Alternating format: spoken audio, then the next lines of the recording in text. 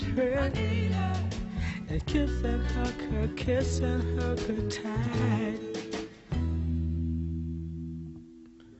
Yeah, when